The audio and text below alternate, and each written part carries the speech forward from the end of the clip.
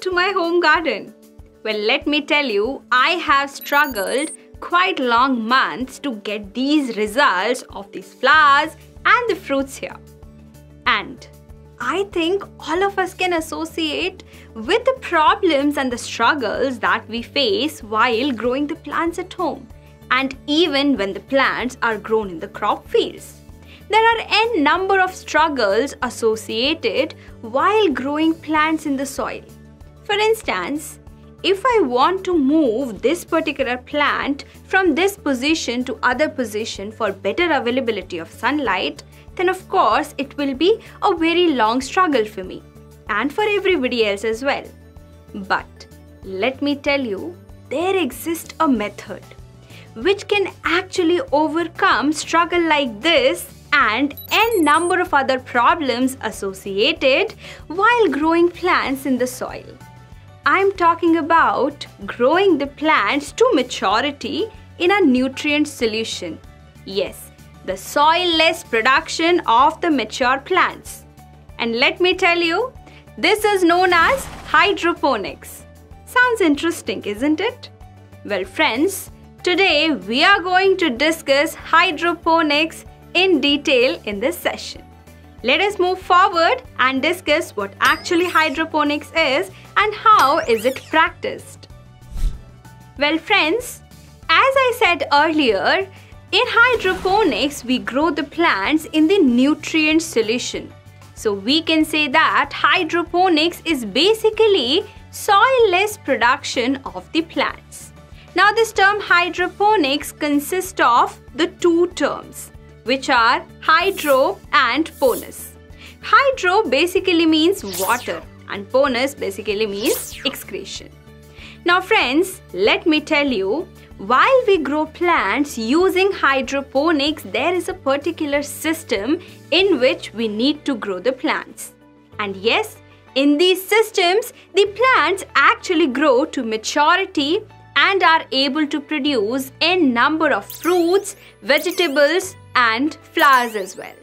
Friends, while practicing hydroponics, we need a tank made up of either concrete or metal, which is covered by another metal covering.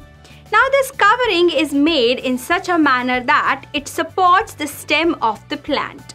Yes, the support which is basically provided by the soil while growing plants in the soil in case of hydroponics is provided by the upper covering of the tank in which we are going to grow the plants.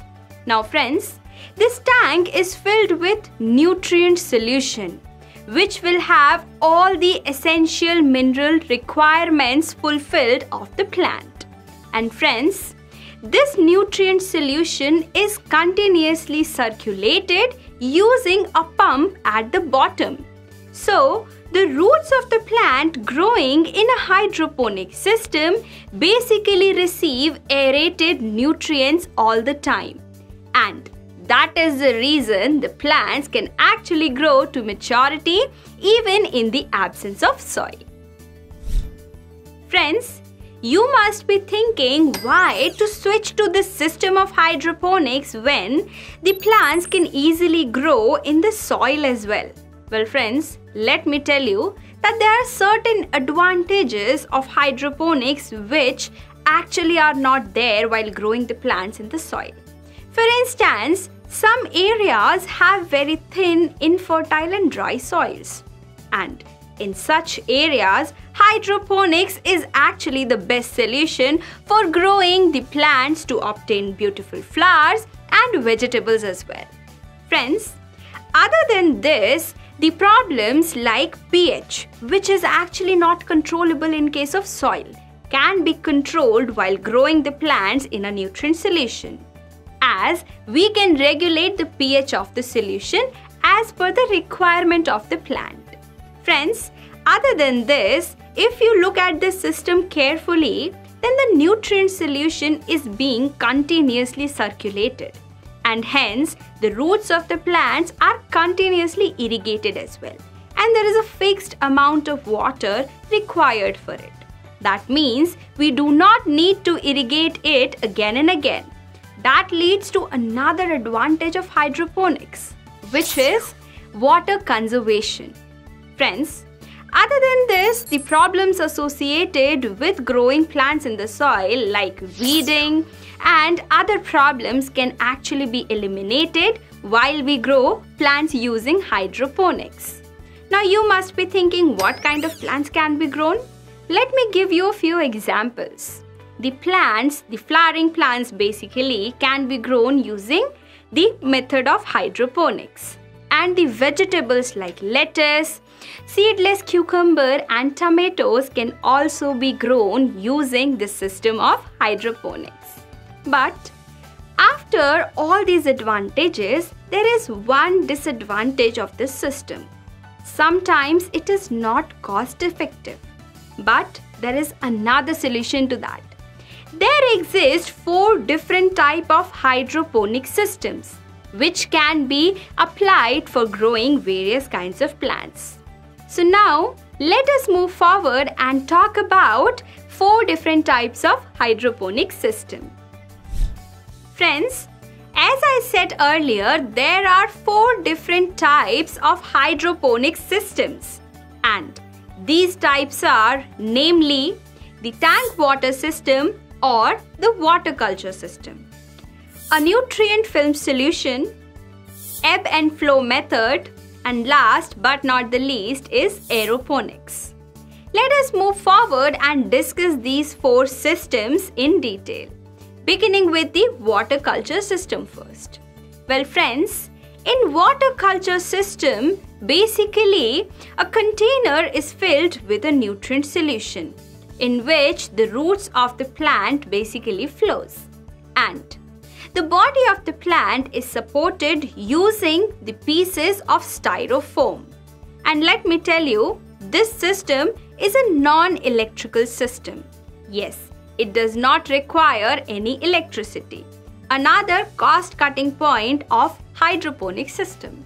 Well friends, moving forward, this system is attached to an air pump which supplies the air to the nutrient solution through which the aerated nutrient solution reaches the roots of the plants and thus the roots receive nutrients required for the growth of the plant as well as fresh air or simply fresh oxygen. Friends, in these kinds of systems, the plants are actually found to be grown to their maturity and they produce flowers and vegetables as well. Now, let us talk about the next system which is the nutrient film system. Friends, in the nutrient film system of hydroponics, the nutrient solution is continuously recirculated and the plants basically grow in a trough or a tube.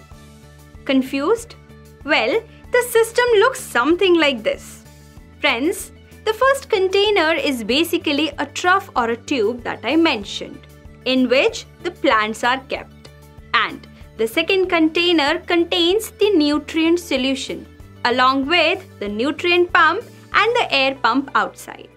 The air pump outside basically provides the oxygen and the nutrient pump present inside pumps the nutrient solution into the trough. Now, the depth of the stream that flows in the trough or the tube in which the plants are growing is kept very shallow and hence this system gets its name nutrient film system. So, the depth of the stream is kept just like a thin film. Well friends, let me tell you that when the plants are grown in a nutrient film system, the upper part of their roots are properly moisturized and aerated as well. They are moisturized because they are provided the nutrient solution periodically and they are aerated as there is ample of space for the air to get circulated.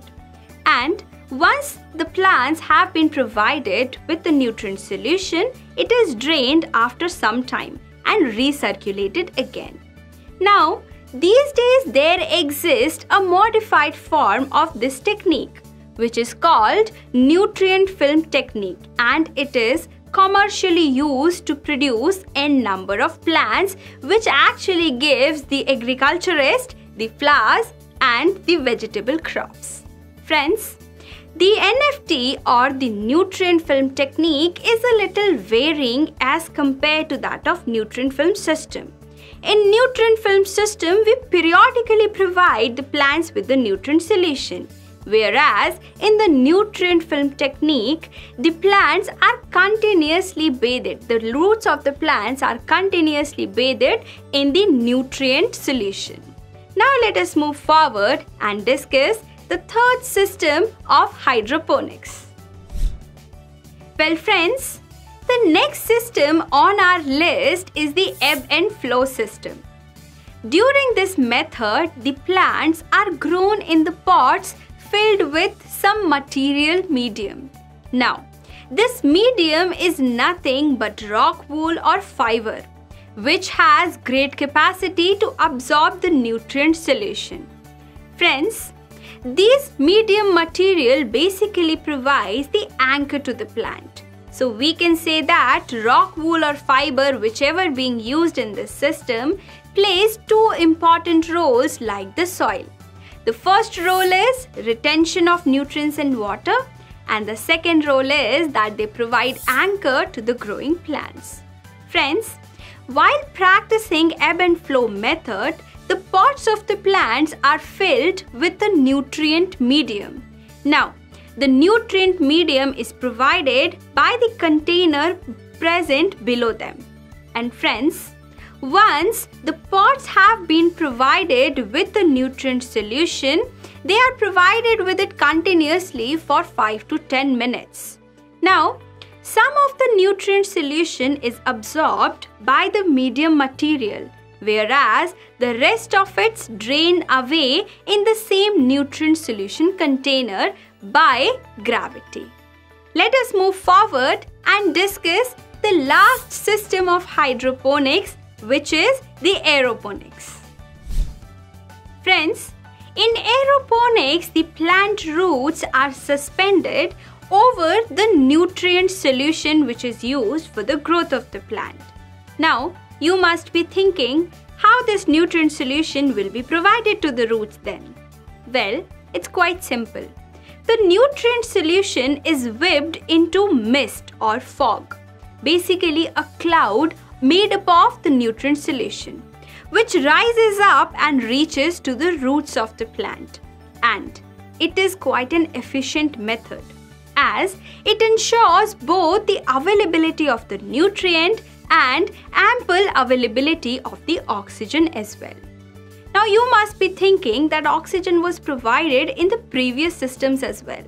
But friends, in the previous systems we used an air pump as standing water depletes in oxygen. Whereas in this system of aeroponics, we do not use any air pump because the plant's roots are continuously exposed to the air and the oxygen surrounding them. But why this oxygen quantity and oxygen availability is so important? Friends, let me tell you, the availability of the oxygen basically impacts the ability of these roots to absorb nutrients. In case of ample of supply of oxygen, the nutrient solution is basically absorbed more quickly and hence the aeroponic system is more advanced and efficient than the previous hydroponics system. Friends, with this we have completed our study of hydroponics and four different systems of the hydroponics. Let us move forward and once enlist all the advantages which are provided by these systems.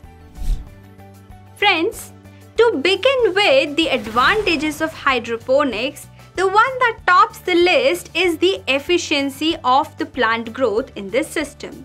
Well, let me tell you, the crop yield significantly increases when the plants are grown using hydroponics. Coming on to the next advantages, we can control the pH which is required for the growth of a particular plant and hence enabling the maximum efficiency once again. The problems like weeding, and the soil-borne pathogens are also eliminated while growing the plants using the hydroponic system. And the systems like aeroponics again help in water conservation as the water is being used in the form of mist, fog or vapors basically. And combinedly all the systems which are entailed for hydroponics combinedly result into water conservation and increased crop yields of the plants. Friends, with this, we have completed our study of hydroponics, different hydroponic systems, and various advantages of the hydroponics. Let us quickly conclude this session with a summary of what did we learn today. The soil-less production of plants is called hydroponics. The plants are raised in small tanks of concrete or metal with the upper covering supporting the plants and the narrow tank providing the nutrient solution. A pump is regulated which circulates the air as well as nutrient solution. The hydroponic systems are of four types, namely tank system or water culture system, nutrient film system, ebb and flow hydroponics, and aeroponics. In the water culture system, the roots of the plants are provided continuously with nutrient solution and the stem of the plant is supported using the styrofoam. In the nutrient film technique of hydroponics, the plants are grown in a trough or tube having a thin film of recirculated nutrient solution. In aeroponics, the roots are suspended in the air over the nutrient solution which is whipped into a nutrient mist by a motor driven rotor.